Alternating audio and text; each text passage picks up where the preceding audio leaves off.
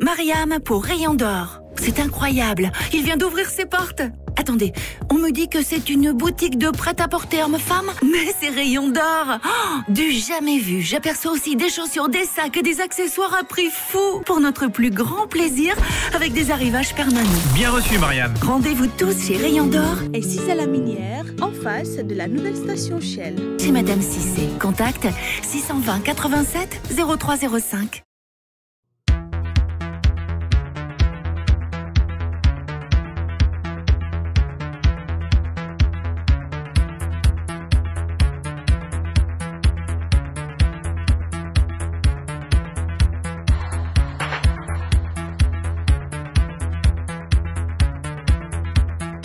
Chers Espaciens et Espaciennes, bonsoir à toutes et à tous. Vous êtes sur Espace TV et bienvenue dans les 31 images, le cocktail de ces 31 images qui vous ont marqué courant l'année 2020, que ce soit positivement ou négativement, que ce soit directement ou indirectement.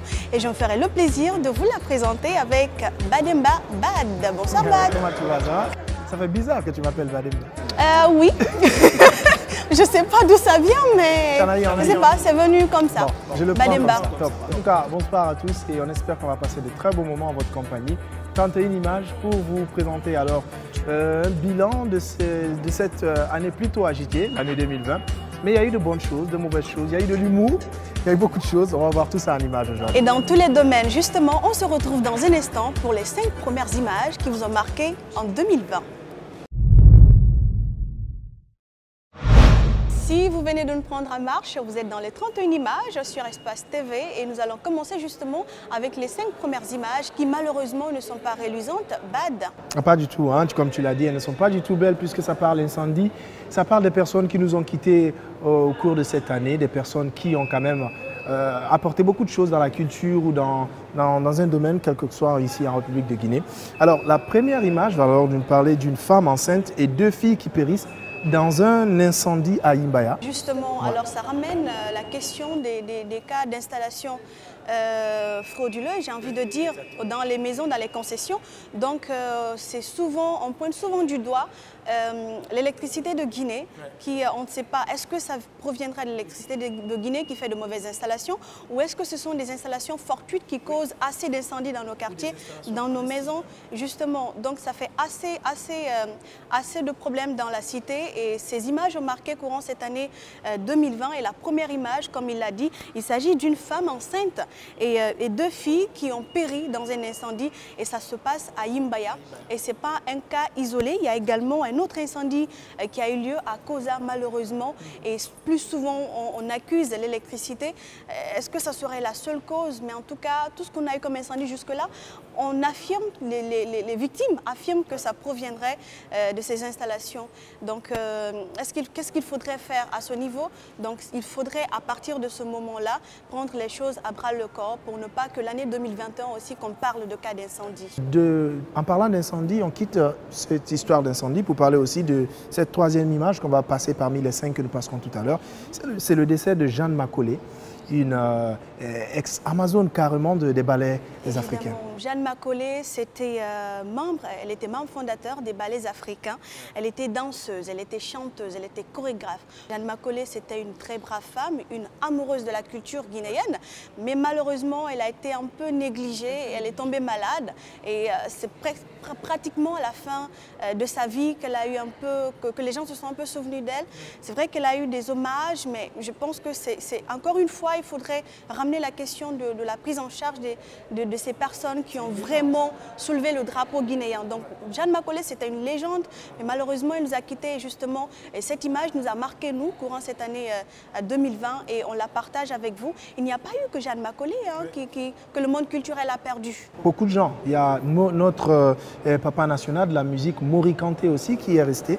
Et sans compter Petit Condé, la personne qui a euh, a rendu belle la plupart de ses musiques entre les années 90 jusqu'à jusqu'à jusqu'à ce qu'il soit euh, parti complètement. Donc on parlera aussi de ce décès de Mori Kanté et de Petit Condé, sans parler on va va pas boucler ces cinq images et sur les violences faites aux femmes parce qu'il y a aussi des femmes qui ont été violentées durant cette année.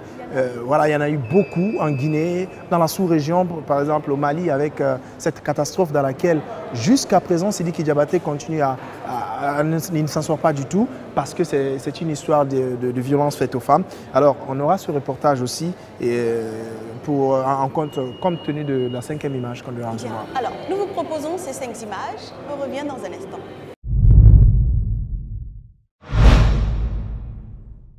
Une femme enceinte de 9 mois et deux filles n'ont pas pu sortir de cette maison. La raison, un incendie qui serait d'origine électrique. C'était ce dimanche aux environs de 6 heures. Un réveil pas comme tous les jours sur les habitants de ce quartier de Yimbaya Permanence. Au-delà de ces trois morts, le contenu de cette concession de trois pièces a été réduit en cendres par l'incendie. Seule cette chambre a été épargnée par l'ampleur des flammes. Sur les lieux, parents, voisins, tous sidérés par ces rudes réalités. Certaines, sous le choc de la nouvelle, sont inconsolables. Le père de famille, lui, serait à l'hôpital de la base militaire de Yimbaya. Les trois corps ont été conduits à la morgue de l'hôpital national Ignace Dine.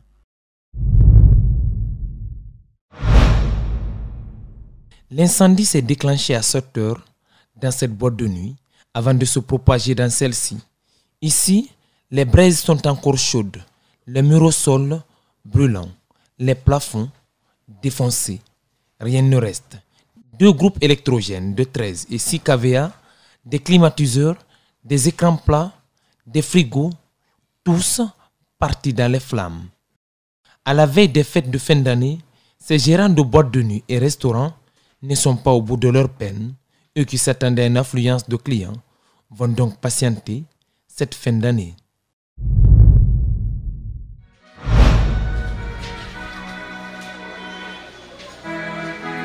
Jeanne Macaulay, entre autres artistes, compositrice, chanteuse, metteuse en scène et chorégraphe, autrefois accompagnée par le cri des spectateurs pour ses prestations scéniques pleines de sens. Aujourd'hui, cette-ci se transforme en souvenir pour le peuple guinéen. Celle qui était escortée par des cris est maintenant convoyée par des larmes. Parents, amis et collaborateurs se souviennent encore de ces moments chaleureux. La défunte était mère de deux enfants. Ces derniers sont convaincus de l'exploit de leur mère qui a vendu l'art africain en général et celui de la Guinée en particulier. Jeanne Macaulay a été aussi la fondatrice du ballet Sanké avant de devenir la première directrice du Théâtre national d'enfants où elle a su transmettre ses connaissances sur les techniques théâtrales à plusieurs générations. Ce groupe de femmes, composé des danseuses, des choristes et des chanteuses, doivent assurer la relève de Macaulay. Moricante, c'est plus qu'une œuvre africaine. Nous sommes de la tradition orale, nous, nous connaissons donc nos peuples. Hein, le mot Djali, Djali veut dire le sang qui circule dans notre corps, ce qu'on appelle, euh, mais on le dit griot en français, sans quoi c'est Djali. Moricante, c'est une vie plurielle, faite de métissage musical dès son plus jeune âge. Il a 21 ans lorsqu'il rejoint un groupe mythique, le Rail Band de Bamako, dont le chanteur n'est autre que Salif Keita. Il jouera d'abord du balafon avant de prendre la tête du groupe comme chanteur. Le griot électrique, comme il était surnommé, s'est éteint à l'âge de 70 ans.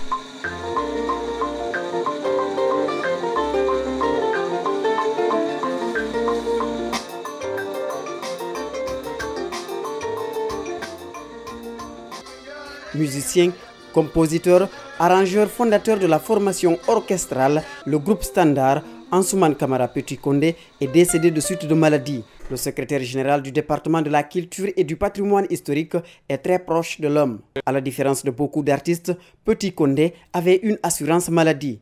Mais la fermeture des frontières a été un facteur de blocage pour son évacuation. Le choc est grand au sein de la famille biologique impossible d'arracher un témoignage. Ses compagnons de carrière et fans décrivent le grand guitariste qu'il a été. Il est le maître de la plupart d'entre eux. Le viol sur mineurs devient de plus en plus un problème de société et de santé publique qui polarise aujourd'hui des débats.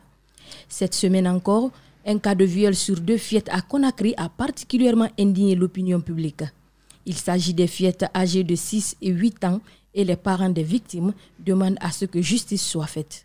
Malgré les preuves que peuvent détenir les parents, les présumés violeurs ne reconnaissent pas les faits qui leur sont reprochés. J'ai juste pris la main de la petite. Et elle a crié.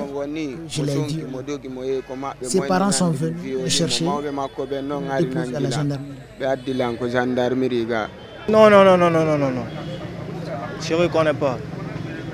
Selon les statistiques fournies par l'Office de protection de l'enfance, deux à trois viols sont enregistrés chaque jour à Conakry. Pour cela donc, il invite à la vigilance des parents, voire même de toute la société. Elles traversent des épreuves les plus douloureuses de leur vie.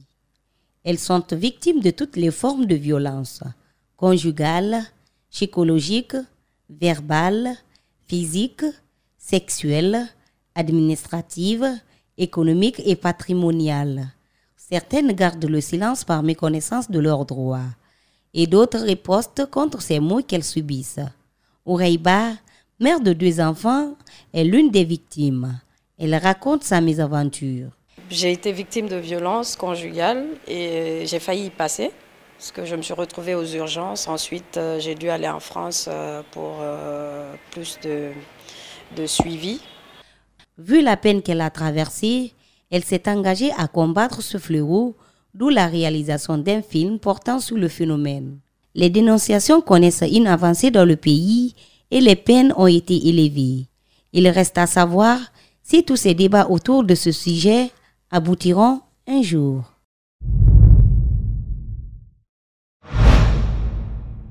Les femmes ont les mêmes droits que les hommes en droit et en devoir. Et je pense que euh, des atouts physiques ne devraient pas occasionner à ce que des femmes soient violentées dans le monde. Il faudrait que les hommes se remettent en cause à partir de l'instant T. Bad.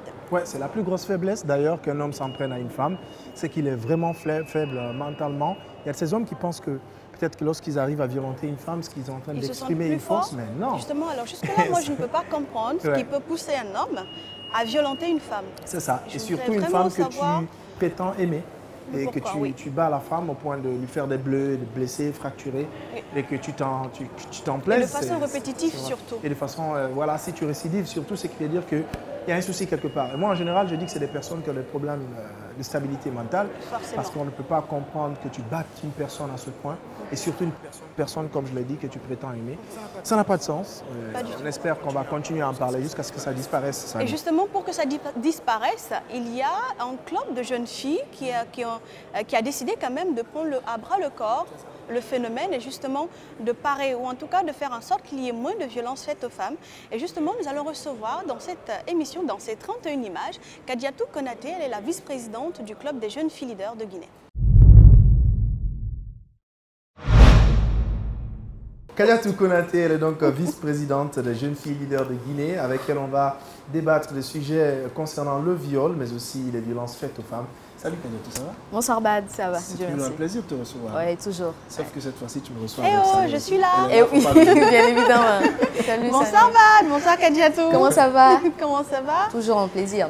Bah, plaisir partagé. Et l'année, ça a été euh, une bonne année pour toi, Kadiatou Pas vraiment, mais ça va, on a tenu le coup, voilà. Donc avec tous les mouvements, les situations sociopolitiques du pays, avec la situation sanitaire, avec euh, tous les événements qui se sont succédés, c'était très compliqué, mais comme on le sait déjà, on ne lâche pas. On a tenu le coup et voilà, nous sommes là en fin d'année. De toutes les façons, l'objectif c'était de survivre cette année. On a survécu, donc ça va. On espère ça, continuer à vivre maintenant en 2021. Maintenant, on commence à vivre. Alors, Kadiatou, on parlera de violence, on parlera de viol fait aux femmes qui, d'ailleurs, est devenue euh, une activité récurrente chez nous en République de Guinée. Comment aujourd'hui le club des jeunes euh, filles leaders de Guinée arrive à, poser des actes pour pouvoir remédier à, ce fléau Comme on le disait tantôt au début, que la situation, par exemple, des filles euh, reste très compliquée, surtout en cette période très critique que, notre pays a traversé et tous les autres pays dans le monde entier. Donc c'est très très dur avec euh, les, violences qui sont là et qu'on ne parvienne pas à gérer comme ça se doit parce que les situations nous empêchent, parce que les activités à un moment donné étaient complètement arrêtées, la population à la base n'avait pas accès aux services qu'il faut. Euh, tout le monde craignait pour la santé. Comme on disait tout à l'heure, on essaye de survivre c'est-à-dire au lieu de vivre. Donc c'est très très dur. Il y avait assez de cas de viol qui étaient là, qu'on dénonçait et tout, mais après les actions étaient minimes parce que l'atmosphère ne nous permettait pas. Il y a assez de violence euh, qui était là, mais parce que les femmes passaient euh, la plupart des temps, par exemple, à la maison avec les conjoints. Avec, euh, Justement, j'allais te demander, pendant cette période de corona, parce qu'on l'a vu du côté de la France, on a remarqué qu'il y avait beaucoup plus de violence basée sur le genre en période de Covid, parce que les gens étaient confinés. Est-ce que c'est le cas en Guinée? Oui, bien sûr que c'est le cas. Quoique, il y avait assez de violence en Guinée. C'est-à-dire, quand on se réfère un peu sur les statistiques et tout, on va se dire que cette année, il y a eu plus d'actions de dénonciation, d'implication de tous les acteurs intervenant dans ce sens. Parce que quand on prend les autorités, quand on prend les médias qui en parlent, quand on prend les services de protection qui s'assurent à ce que les dossiers soient transférés, quand on prend les parents qui commencent à dénoncer. Donc, dans ce sens, on peut dire que ça existe, ces violences, mais les gens ont, dénoncé cette année plus que les années antérieures. Là, pour revenir un peu sur la situation de Covid, c'est un fait réel qui a beaucoup impacté négativement la vie des, des, enfants, des femmes, de manière globale, la vie de la couche féminine parce que là, dernièrement, il y a les parents qui, qui, essayent de sortir de la situation économique en voulant donner leur fille en mariage, par exemple, pour des raisons économiques. Quand on prend les questions de violence sexuelle ou encore des questions d'exploitation, il y a les parents ou les enfants ou encore les jeunes filles qui sont là, qui font face à ces violences parce qu'elles sont, elles sont obligées de rester à la maison, de faire face à ça. Et elles sont, on, abuse d'elles, exactement, on abuse d'elles à la maison avec les cousins, avec les papas, l'inceste, avec les voisins. Donc, de manière globale, la situation Covid-19 a eu carrément un impact négatif dans, dans tous les domaines, certes, mais dans les questions exactement de protection des, droits des femmes. Alors, en gros, vous avez un objectif qui est celui de, de surtout faire respecter la femme et, et, lui remettre dans ses droits, comme vous le voulez, comme l'égalité entre les genres et tout. Est-ce que malgré que l'année soit compliquée, vous pensez vous vous êtes rapproché un tout petit peu de votre objectif général au, cours de cette année 2020 Bien évidemment qu'on s'est rapproché de l'objectif général qui est d'abord interpeller la conscience de tout un chacun, ensuite faire en sorte que tous les acteurs s'impliquent dans la lutte. Je pense que c'est le principal travail à faire. Et si tous les acteurs ont commencé à s'impliquer dans la lutte et que chacun parvienne à faire son travail comme ça se doit, c'est le premier pas. Donc au fil du temps, on pense que si tout le monde fait comme ça se doit le travail, on pense pouvoir atteindre l'objectif final qui est de réduire quasiment le taux de violence faite aux filles et femmes en Guinée, dans notre pays, pourquoi pas dans les autres pays? Mais pour le moment, c'est l'implication effective de, de, tous les acteurs qui est, je pense, sur la bonne voie et estimant que ça pourra ça pourra continuer. Supposons qu'aujourd'hui, tu es une femme qui a atteint un âge, euh, comme on le dit chez nous, l'âge d'être mariée, mais qui ne trouve pas de mari. Comment est-ce que toi, tu allais gérer toute cette pression sociale? Parce qu'elle est très lourde. Hein? Et il y en a qui vivent cela. Comment est-ce que tu as vu ça? Il y, a la, il y, a la, pression sociale qui existe, mais moi je pense que la première chose qu'il nous, qui, nous faut exactement, c'est savoir assumer son choix, c'est savoir ce qu'on veut le plus souvent.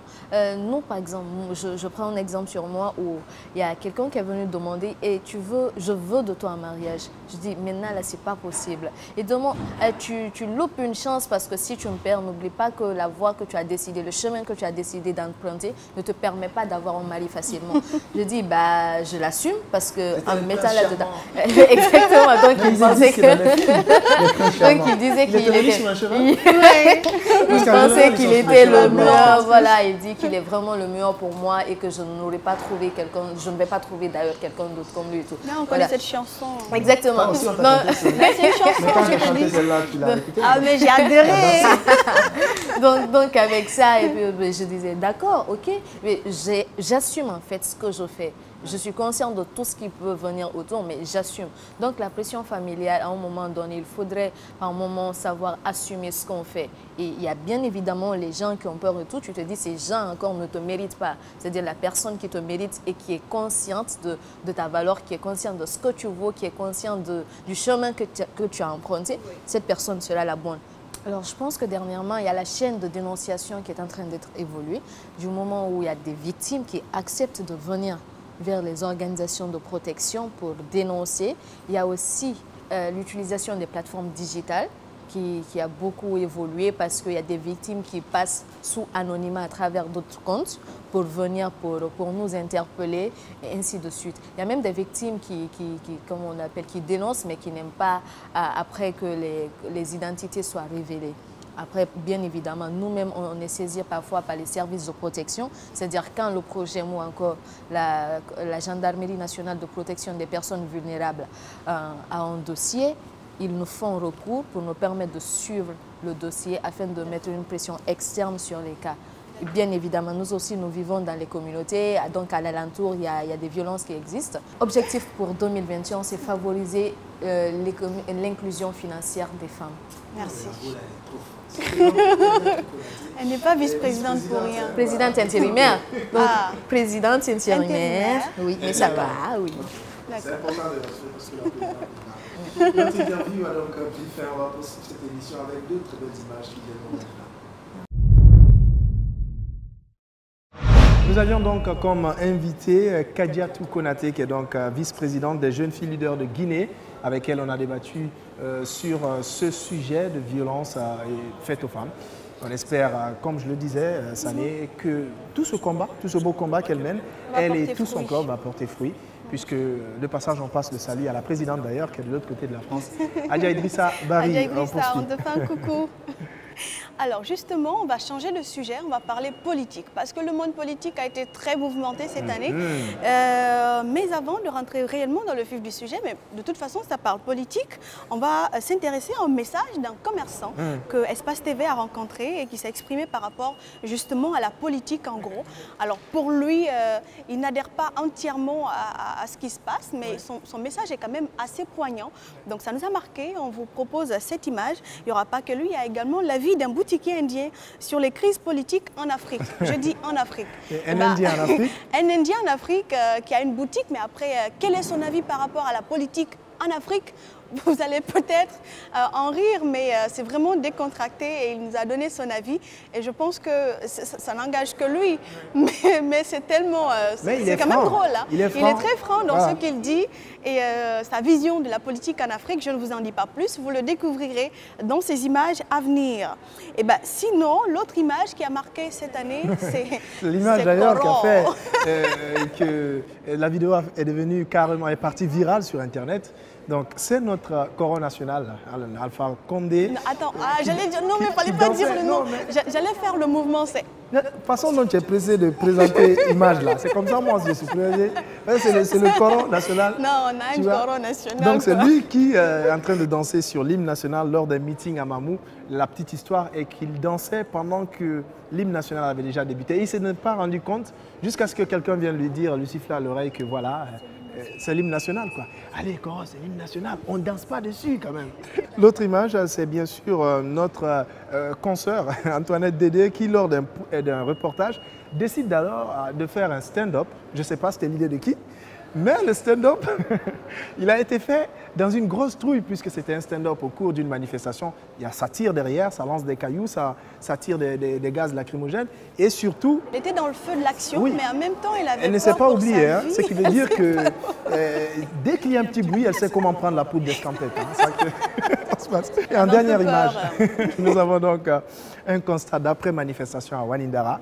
Et donc euh, cela aussi, ça parlera de manifestations, comme nous savons que cette année aussi a été jonchée de beaucoup de manifestations de politiques. De violence hein. surtout, voilà, surtout du côté de Wanindara, où il y a eu assez de violence courant cette année euh, 2020. Donc euh, on vous a concocté également ces images de ces événements. On ne pouvait pas passer à côté. Ce sont les 31 images qu'on vous propose.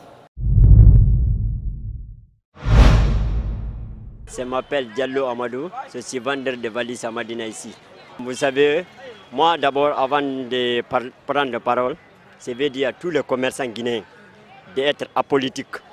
La politique n'est pas bon pour les commerçants. Beaucoup parmi eux ne savent qui parle comme ça. Ça m'appelle Diallo Amar à Mamou. Ils n'ont qu'à rester neutres. S'il y a des élections, il ne doit pas soutenir un candidat. C'est lui qui gagne, il va travailler avec nous. C'est ce qui est bon pour nous. Moi, ce n'est pas, ce pas à l'école. S'il y, y a un président, je ne peux pas être ministre ni quoi. Mais si le pays est calme, c'est bon pour moi. Ça, c'est un. Deuxièmement, moi, je suis là pour chercher notre quotidien. Moi, je ne suis pas pour la manifestation. C'est demander à toutes les populations guinéennes. Les élections sont derrière nous maintenant. On va travailler pour notre pays. Surtout, surtout, restons unis entre nous et soudés.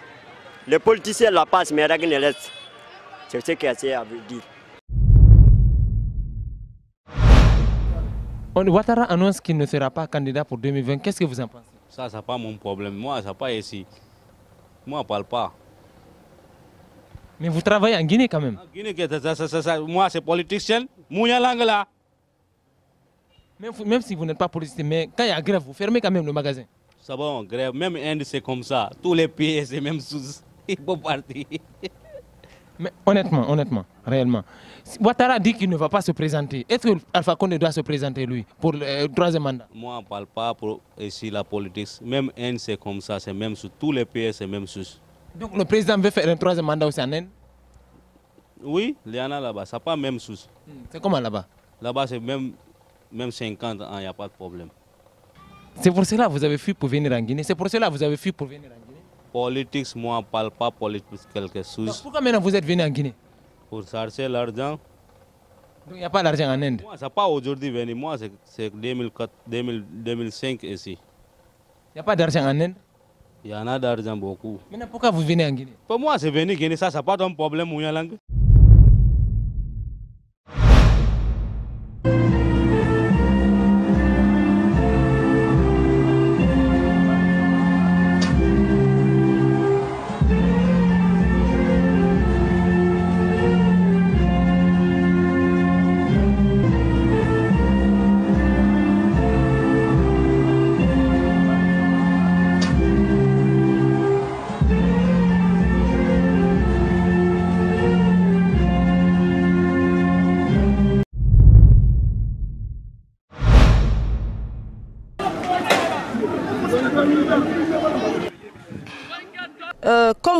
Le remarquer sur euh, ces images, nous sommes à Koza, précisément euh, Bomboli, Carrefour Bomboli. Ici, les jeunes et, les militaires sont en train de, euh, de se jeter des pierres.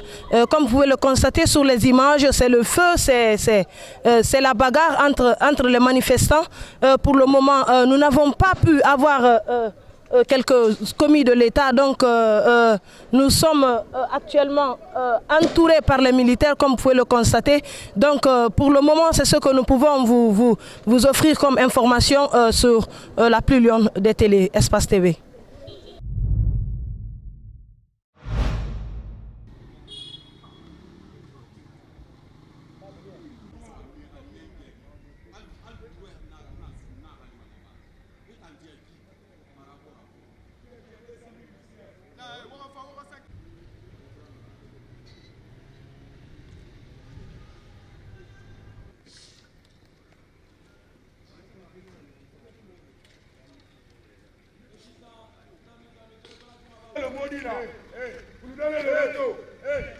Ah non, c'est bon. Hey. Attendez à dormir. Hey. Bah ouais.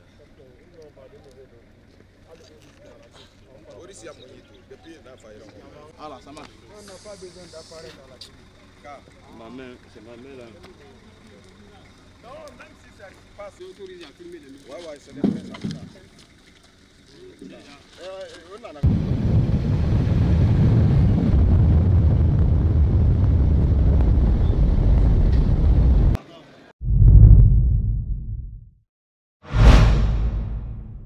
c'était là quelques images, quelques cinq images qui ont marqué euh, cette année 2020 en matière politique. Et justement, on va parler politique avec euh, Jacques Lewaleno, qui est rédacteur en chef euh, d'Espace TV. C'est lui qui gère, si vous voulez, Espace TV, la rédaction d'Espace TV, tout ce qui est journal, comment ça se concocte. Justement, cette édition grandement suivie, les deux éditions, le 20h et le 22h. comment tout se passe? On reçoit dans un instant Jacques Lewaleno.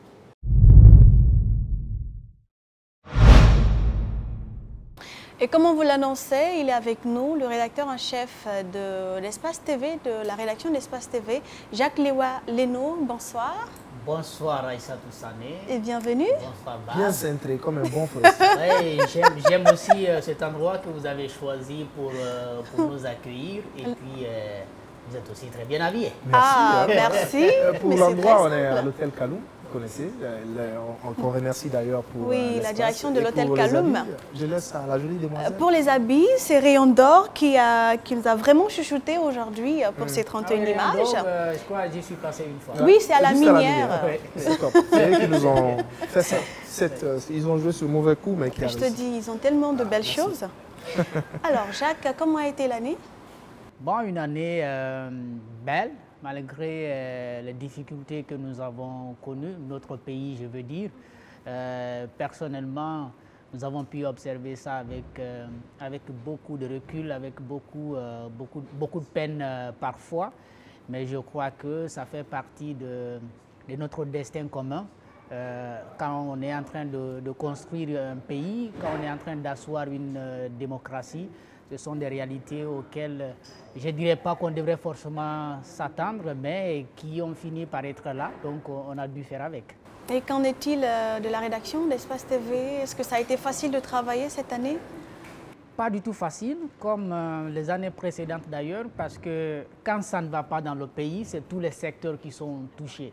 Euh, donc nous qui sommes dans les médias, donc à la télévision, nous n'échappons pas à cette, à cette réalité parce que euh, nous, nous sommes sur le terrain, nous partons à la collecte de l'information pour euh, permettre, n'est-ce pas, à nos téléspectateurs de savoir ce qui se passe dans le pays, mais également autour, de nous. Alors, en parlant du fait d'aller euh, sur le terrain pour collecter les informations, on a regardé une image plutôt de, votre euh, reporter Internet Dédé euh, qui faisait un stand-up mais avec la peur de se faire connaître.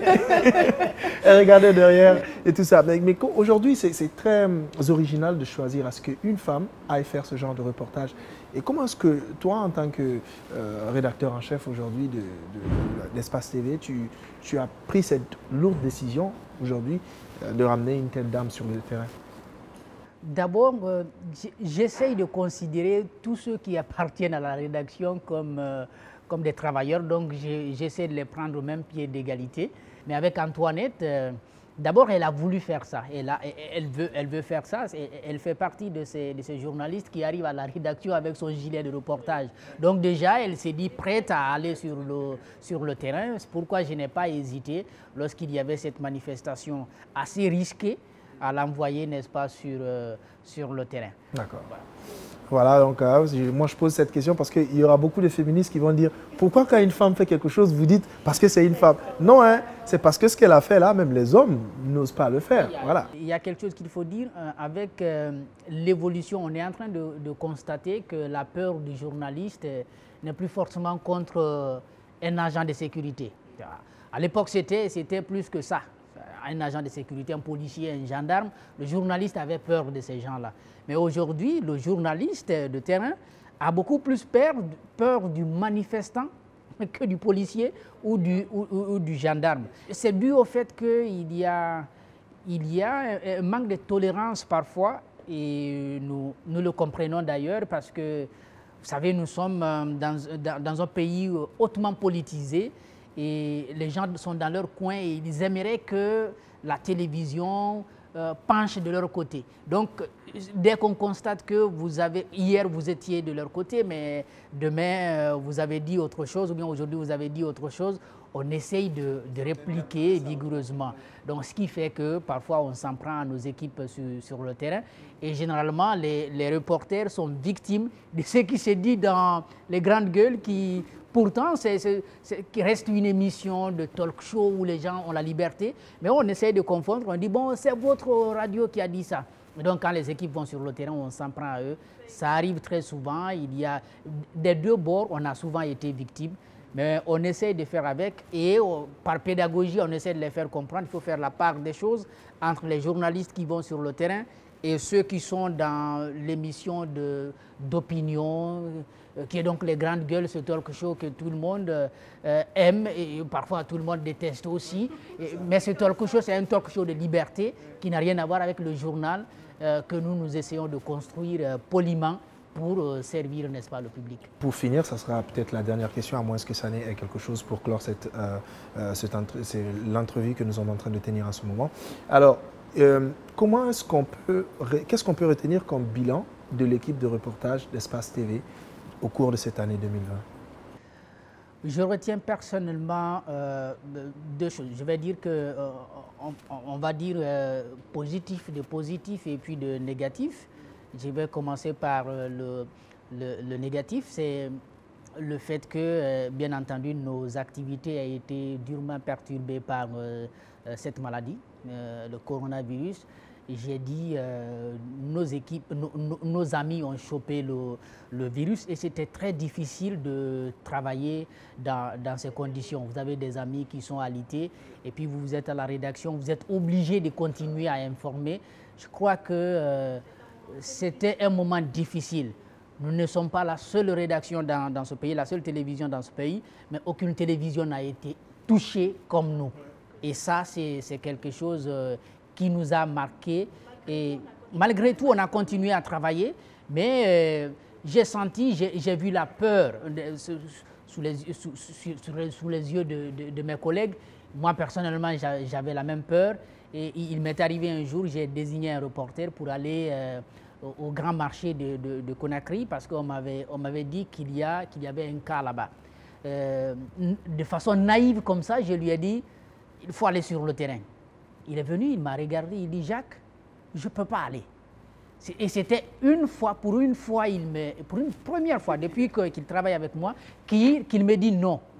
Après, j'ai voulu insister, mais après, il me dit Est-ce que tu prendras la responsabilité si je chope le virus là-bas? Donc, j'étais dans l'obligation de renoncer. Donc, il y a eu des, des, cas comme ça.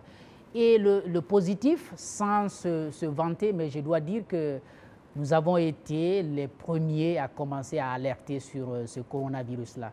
Nous avons été les premiers et j'en suis fier. J'en suis fier dès lors qu'on a appris que c'est en Chine. Nous avons commencé à alerter et nous avons continué à, à traiter l'information jusqu'à faire une immersion au sein de l'hôpital Donka. Ça, je crois, c'est quelque chose de positif que je note. C'était très, très intéressant et si c'est à refaire, nous allons le refaire. C'est la fin donc de, cette euh, interview avec euh, Jacques Léo je rappelle, qui est donc euh, le rédacteur en chef d'Espace TV. Merci Jacques. Merci.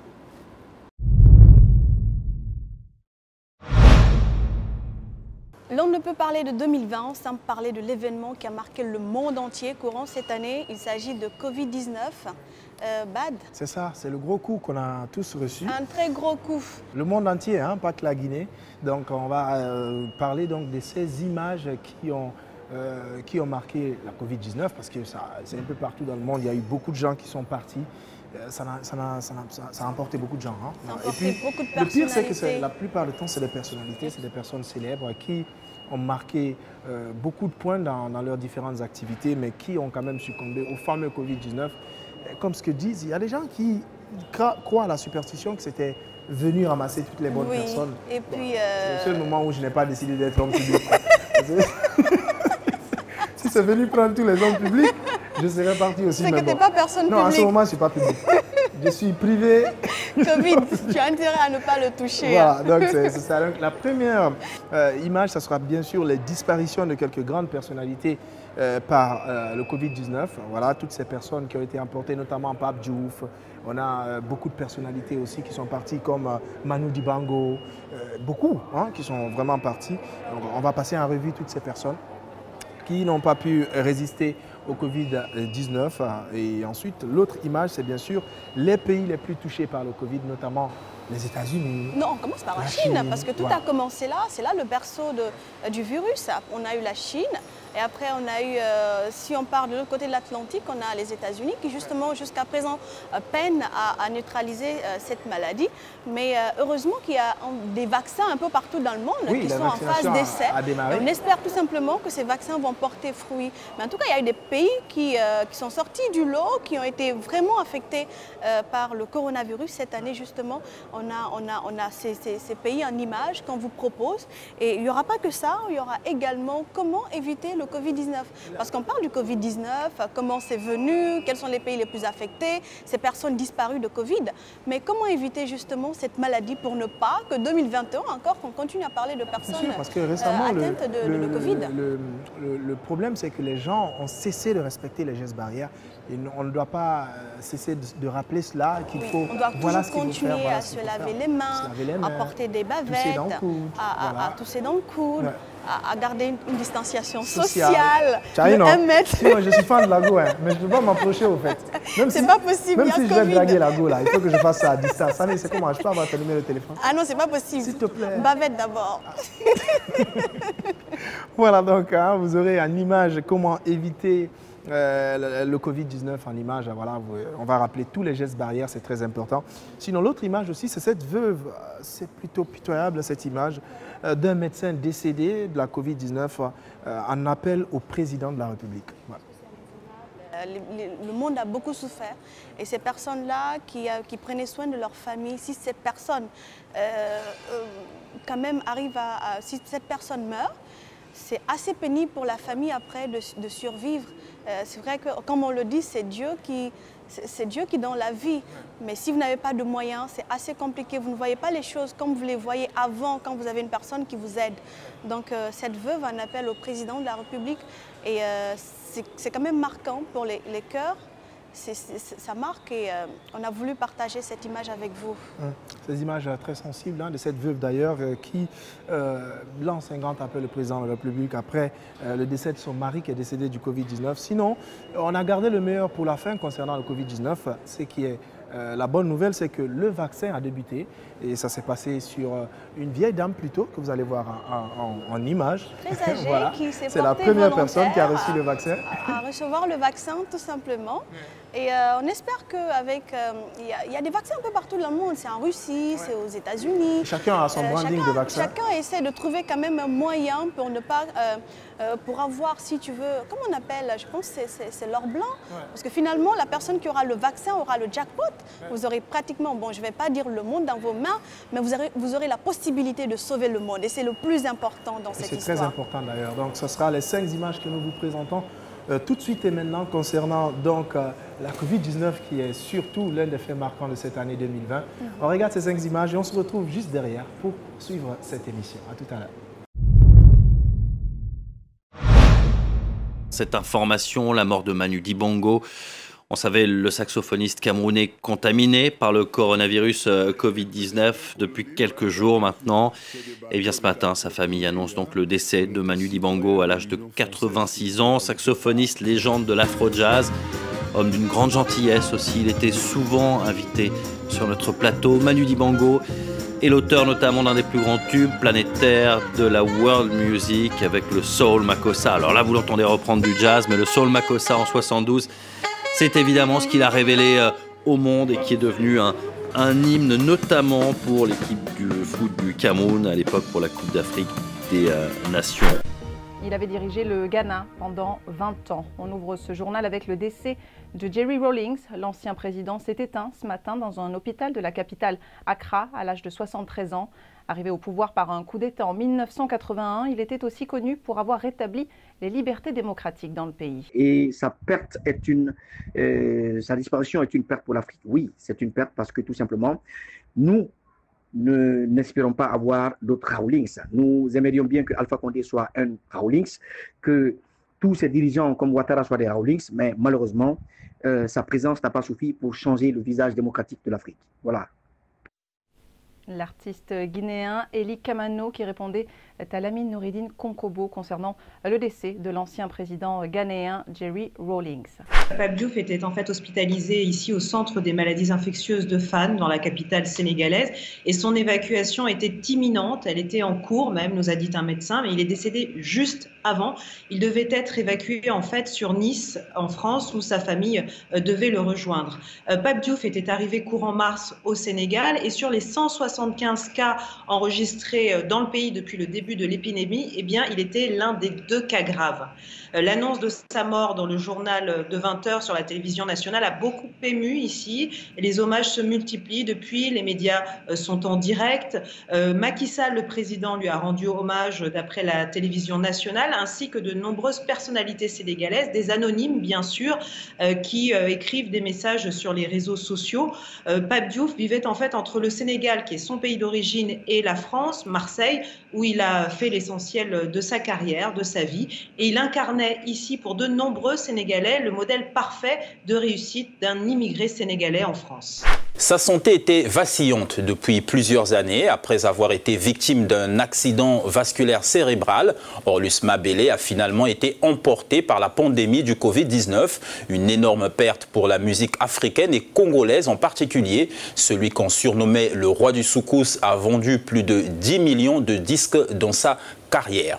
C'est en effet dans les années 80 qu'Orlus Mabélé, de son vrai nom Aurélien Miatsonama, a fondé le groupe Loketo en compagnie du célèbre guitariste Diblo Dibala, avec l'apport de son sorti de synthétiseur et boîte à rythme de la rumba congolaise des années 50 et 60. Orlus Mabélé a apporté une nouvelle dimension à cette musique appelée soukous, une variante de la rumba congolaise.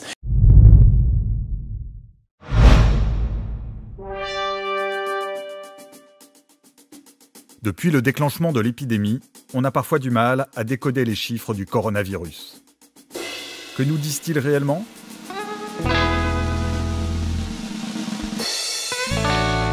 Reprenons depuis le début.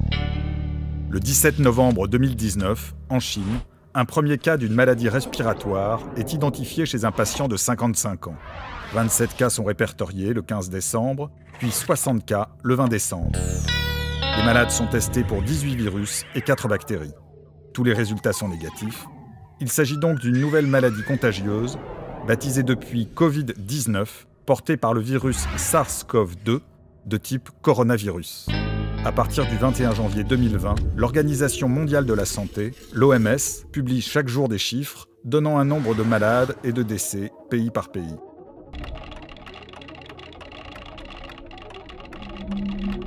Mais attention, le chiffre des cas déclarés ne donne pas le nombre de personnes malades, ni celui des personnes infectées. Ce ne sont pas non plus des estimations. Il ne s'agit que du décompte des cas confirmés et diagnostiqués de la maladie, qui ont fait l'objet d'une déclaration spécifique auprès de l'OMS. Ils dépendent donc des capacités logistiques de détection, variables d'un pays à l'autre, et des politiques nationales qui déterminent quels groupes doivent être testés, entre la population générale, les gens qui ont des symptômes, les personnels de santé, les personnes hospitalisées. Par ailleurs, le coronavirus entraîne des symptômes plus ou moins sévères, voire aucun symptôme. Le nombre de personnes infectées est donc bien plus important que les chiffres publiés. Le nombre exact de porteurs du SARS-CoV-2 est en réalité inconnu.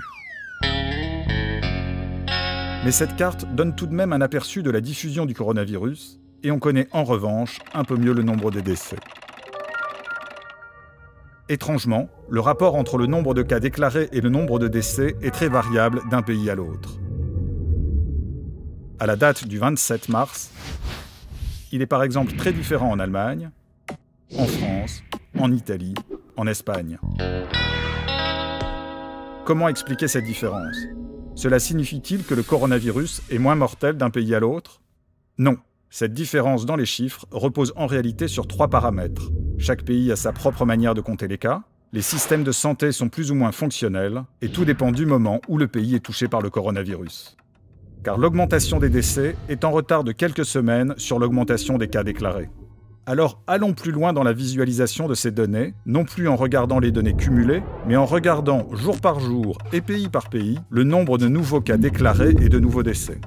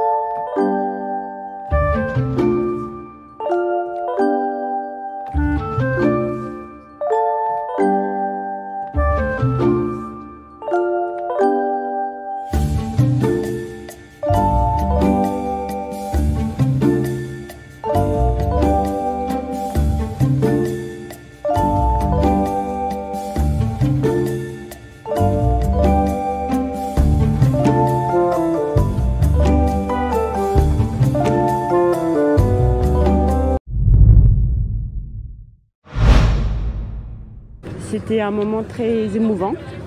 Je ne vous cache pas, aujourd'hui, si je suis là, euh, c'est pour la mémoire euh, de mon mari, Dr Jemwi, qui est mort sur le front, qui s'est sacrifié pour la France.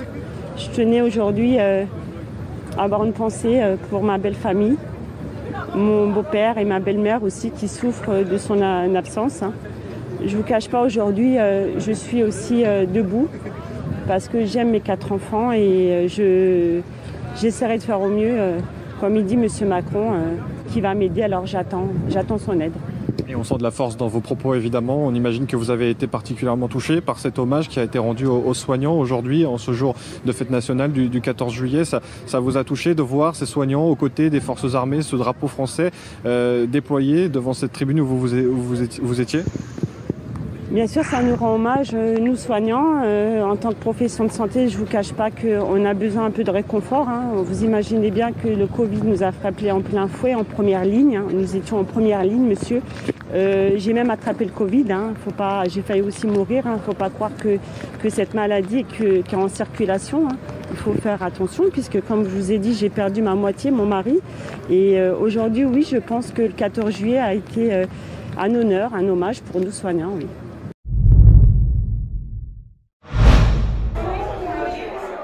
Elle n'en a pas l'air, mais cette femme est sur le point de rentrer dans l'histoire.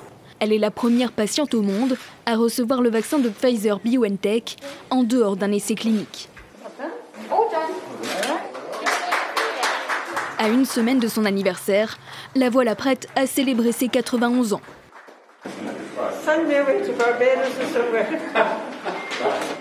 800 000 doses fabriquées en Belgique ont été commandées les plus de 80 ans, les personnels soignants et ceux des maisons de retraite seront prioritaires pour en bénéficier.